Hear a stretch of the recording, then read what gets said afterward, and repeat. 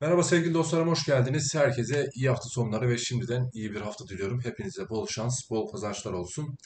21 Ocak 2023 itibariyle altın analizi yapacağız. Tavsiye niteliği olmadan eğitim amaçlı. Sizlerden ricam her zaman olduğu gibi videolarımızı beğenmeyi unutmayın. Ve eğitim amaçlı olduğunu da unutmayın. Bu videoda sizin istediğiniz şekilde analiz yapacağım. Ve tabii teknik görüntüleri de sizlerle paylaşacağım. Altın tarafına gram bazıyla başlayalım analizimizde. Arkadaşlar gram bazında baktığımızda 1160 bizim için bir direnç seviyesiydi. Ancak trend temelli bir Fibo düzeltmesi, bir Fibo trend geri çekilmesi aldığımızda 1182 lira seviyesi bizi karşılıyor. Bu seviyenin üzerinde altın tarafında hızlanışın ciddi anlamda sertleşeceğinin teknik öngörüsünü sizlerle paylaşalım. Şimdi haftalık bazda altının grafiği açık. Bunu bir kere sizler de açın inceleyin ve hiç analiz yapmayı bilmeyenler için de bir gösterge olsun. Bariz belirgin olan en son tepeyi her zaman için takip edeceksiniz. Burası aş aşıldığında alımlar arkadaşlar her grafikte sertleşir. Burada da bu şekilde bir yol haritası ortaya çıktı. 1060 liraların üzerinde kısa vade diyebileceğimiz bir seviyede 2 aylık süreçte üzerine 100 TL koydu. Buraya kadar sıkıntı yok. Tabii tüm bunları değerlendirirken altın güvenli liman mı? Güvenli liman nedir? Bizi enflasyona karşı korur mu? Bunların değerlendirmelerisinde iyi yapmanız gerekiyor. Örneğin bakın yani hiçbir şey bilmiyorsak 2020 yılı içerisinde 400 lira seviyelerinden altın alan adam yani 1 gram altın alan adam 400 liradan bugün 1100 hadi 1200 lira seviyesine ulaşmış diyelim. 3x yapmış. Yani enflasyona karşı kendini korumuş mu ya da korumamış mı buna bakalım. Hiç yatırım bilmeyen, hiçbir şekilde işte altın yatırımı nedir bilmeyen, işte döviz yatırımı nedir bilmeyen ya da faiz yatırımı nedir, borsa nedir bilmeyen adam, piyasayla alakası olmayan adam düz hesap parasının değerini korumak amaçlı otomobil aldı, motosiklet aldı, arsa aldı ya da konut aldı. Kendini enflasyona karşı korumayı bırakın para bile kazandı bu adam. Çünkü 2020 yılı içerisinde örneğin 200 liraya aldığınız bir otomobil bugün baktığınızda arkadaşlar kaç lira biliyor musunuz? 1 milyon TL'ye yaklaşmış durumda. Yani 800-1 milyon TL arası. O yüzden yani altın tamam e, her halükarda yükseliyor. Sonuç olarak talep sürekli olarak fazla ve e, nakit paranın karşısında da bulunmaz bir nimet. Tamam bunu kabul ediyoruz. Zaten buradan fiyat yukarı da gidecek. Teknik anlamda bu da zaten söz konusu. Şöyle bariz belirgin olan en son dip 465 lira. 1060 tepesini aldığımızda ve geri çekilmesi 595'e bir Fibo düzeltmesi attığımızda bu trend temelli bir Fibo arkadaşlar. Bariz belirgin olan en son tepeyi şöyle bir kaldıralım. Ee, gördüğünüz gibi burada arkadaşlar sizi bekleyen e, sürprizler var aslında. Hatta şöyle biraz daha aşağı aldık mı bu daha güzel olacak. Yok. E, şöyle aldığımızda aynen. Çünkü buradaki Fibo araçtan daha iyi kontrol etmemiz gerekiyor ve birebir uyuşması gerekiyor. Baktığımızda arkadaşlar görüntü şu an e, 1180-1190 seviyelerinde bizi bekleyen bir direncin olduğu. Hatta şöyle tam aldığımızda aynen. Yani gidişat sizi bekleyen bir direnç seviyesi var ama sürpriz bir direnç seviyesi değil. Burada teknik anlamda bir kar realizesi yani parayı bir cebe koyma e, şekli beklenir. Bu zaten kur destekli olur mu olmaz mı burası şüpheli ama ons destekli hareketlerde dikkat edilecek. E, ancak yukarıda gidebileceği seviye olarak yani sizlerin beklediği rakam olarak ve ana kar realizesinin geleceği seviyeler buralar. Yani 1600 lira kabaca e, teknik olarak sizi bekleyen rakam burası. Ama tabii buraya kadar yani piyasadaki fiyat artış hızına orantılı bir şekilde kendinizi koruyabilir misiniz? Bunun hesabını yapın. Ben e, yanlış anlamayın ve özür dileyerek söylüyorum.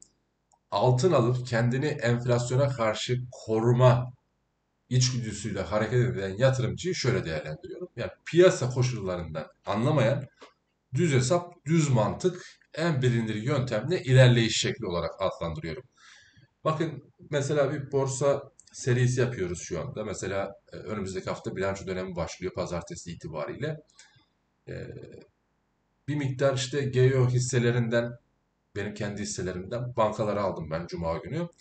İşte bunlarla sizlerle birlikte bir değerlendirme yapacağız, bir takip yapacağız ve burada tabii satışları da mesela size göstereceğim ben e, anlık olarak e, ne kadar getiri elde ettik ya da zarar mı ettik bunları ta- e, takip eden videolarda çekeceğim. Yani siz istiyorsunuz diye bunları çekeceğim ve bu hafta sonu da bu analiz gelecek. Yani e, nereden ne aldık bunların da takibini sizlerle birlikte arkadaşlar yapacağız. Yani e, kendinizi koruyabilir misiniz? Yani bunların hesabını iyi yapacaksınız ama altın gider. Ama düzeltmeler yapa yapa.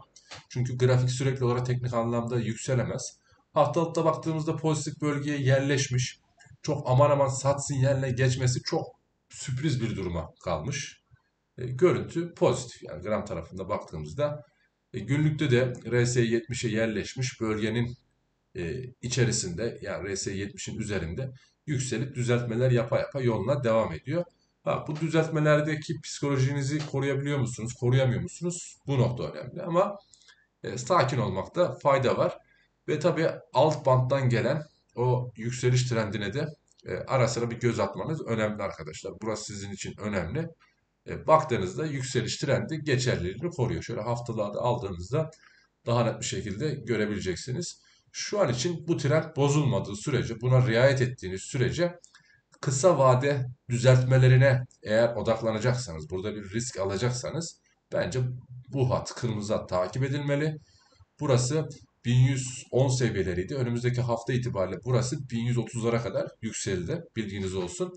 1130'ların altında hareket ve kapanış görmediğiniz sürece trend arkadaşlar yukarı sert bir şekilde devam edecek. Yani sert derken yani kura göre, döviz kuruna göre sert ilerleyecek. 1130'ların altında tekrardan e, 1080, 1100 liralara doğru geri çekilmeleri takip edeceğiz. Şu an için pozitif eğilim ve görüntü devam ediyor. Sizin istediğiniz analizi zaten bu.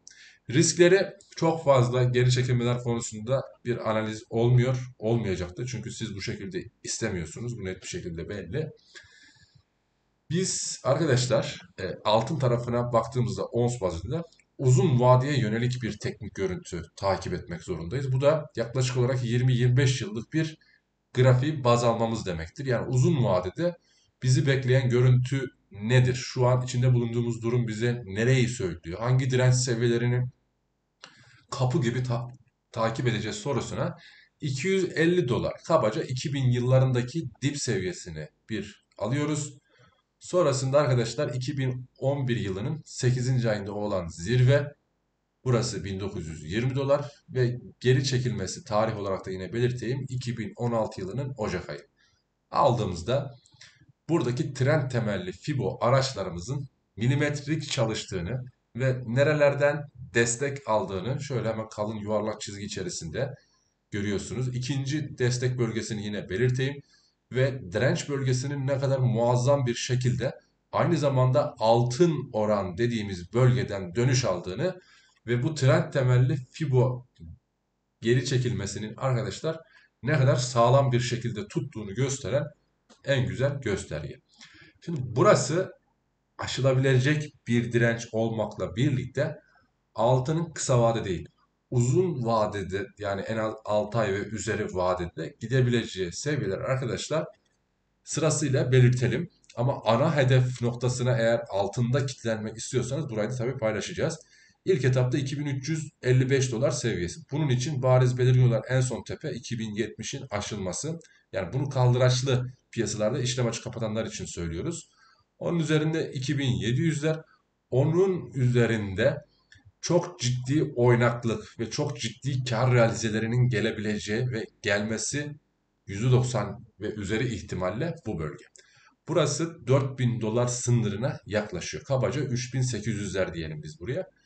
Buraya kadar olan süreyi siz nasıl tahmin edersiniz? Burası sizin ve jeopolitik gelişmelerin arkadaşlar iyi bir şekilde e, analiz edilmesiyle birlikte olur. Ama şöyle kabaca baktığımızda yani 2024'ün ikinci yarısından sonraya doğru bir beklentiyle e, karşılaşacağız gibi duruyor. Çünkü buradan direkt buraya vurmamız mümkün değil ama gidişat yani altında burası arkadaşlar.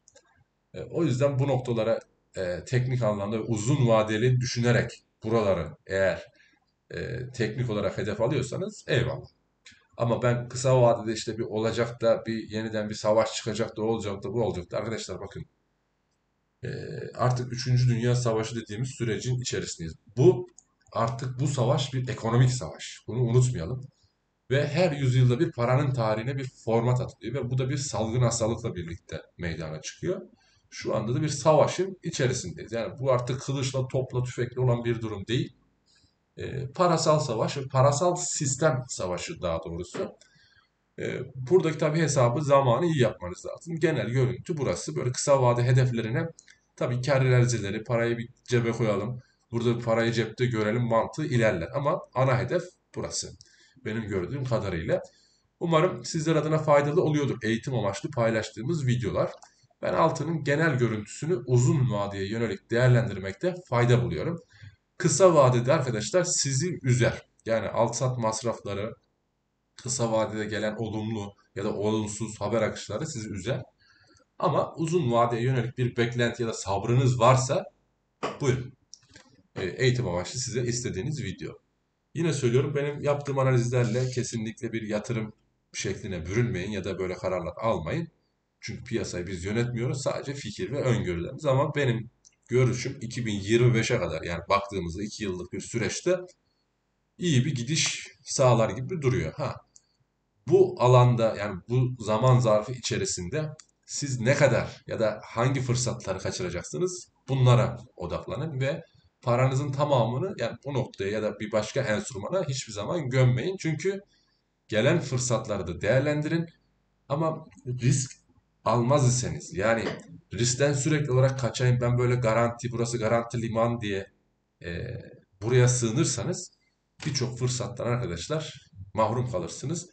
Yani para kazandırır mı burası? E baktığınızda elinizdeki TL ya da işte altın değerli hale gelecektir illaki. Ama piyasada arkadaşlar yerinde durmayacak. Bunu da unutmayalım. Hepinize bol şans, bol kazançlar diliyorum. Sonraki videolarda görüşmek üzere. Kanalımıza destek olmayı unutmayın. Bu ara vereceğiniz destekler çok önemli. E, Umarım her şey sizin için iyi bir şekilde ilerler.